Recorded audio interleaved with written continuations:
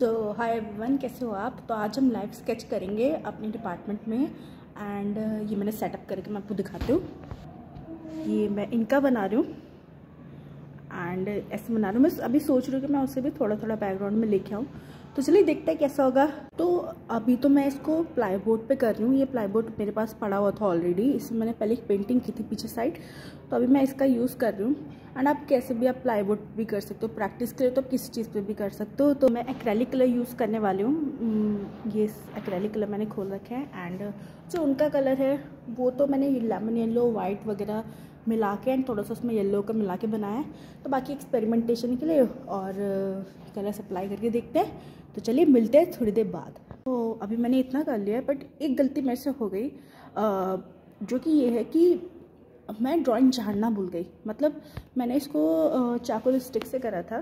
And charcoal stick से करने के बाद जब आप ब्रशेज में ऐसे करना शुरू कर दो कलर लगाना शुरू कर दो तो ये चाकुल भी साथ में निकल जाता है।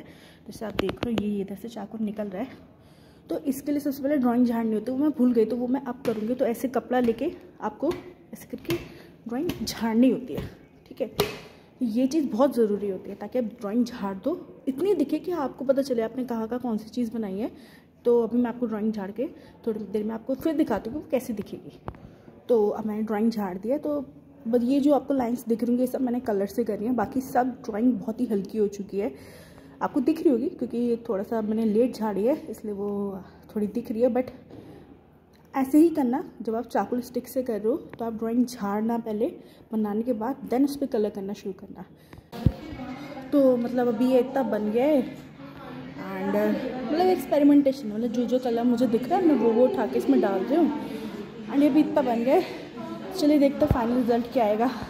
तो ये इतना बन गया है। तो बस अभी इसमें थोड़ा फाइनल टचेस वगैरह बचे हैं। एंड थोड़ा सा और कलर वगैरह डालना है। बस थोड़ी देर में ये बन जाएगा। मेरी पैलेट पूरी गद्दी हो गई है। चलिए हैं क्या होता है।